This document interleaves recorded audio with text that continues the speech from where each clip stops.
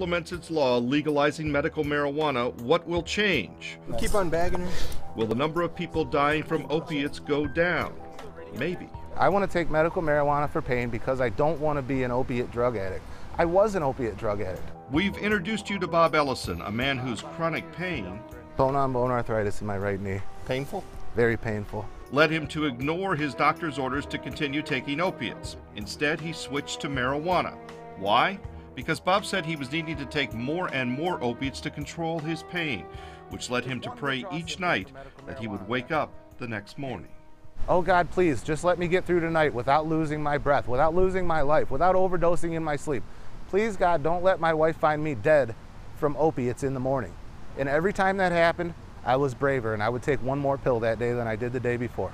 Something else that might change with legalized medical marijuana? How much money people spend to control their chronic pain.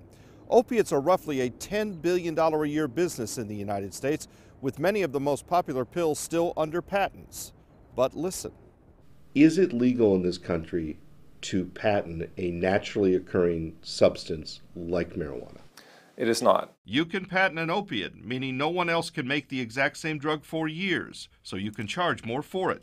And you can patent compounds derived from marijuana, but case law professor Craig Nard, a patent law expert, says not marijuana itself. Because you can't patent it, arguably it would be less expensive. Which, if marijuana were proven to be a safe pain reliever, might make it a competitor for the $10 billion a year opiate business.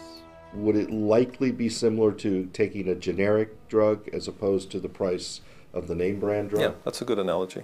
A 2014 study in the Journal of the American Medical Association concluded that states that have legalized medical marijuana have about a 25% lower average death rate from drug overdoses than other states.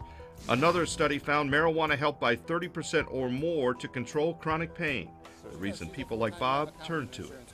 This isn't some stoner stereotype about getting high, man, and playing hacky sack and all that. No, this is people's lives. This saved my life.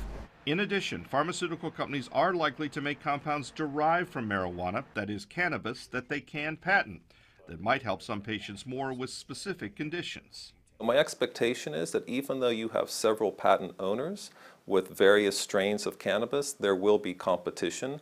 And Professor Nard says in any business, whether it's drugs or even mousetraps, competition reduces prices. So if I charge too high a price for my patented mousetrap, people will buy a cat. How much medical marijuana people will buy and whether it will in fact reduce both drug costs and overdose deaths in Ohio remains to be seen. If I fall asleep, But Bob thinks having doctors have marijuana as a prescribing option makes a lot of sense. if marijuana was killing people, it would be on the news, it would be in the paper, it would be an epidemic. It's not. Opiates are the epidemic. And that's what's legal and that's what's being prescribed. Ohio loses more people to overdose deaths than any other state. Medical marijuana may or may not help reduce those numbers, but despite heroic efforts from first responders, it's clear that overall what we're doing now is not working.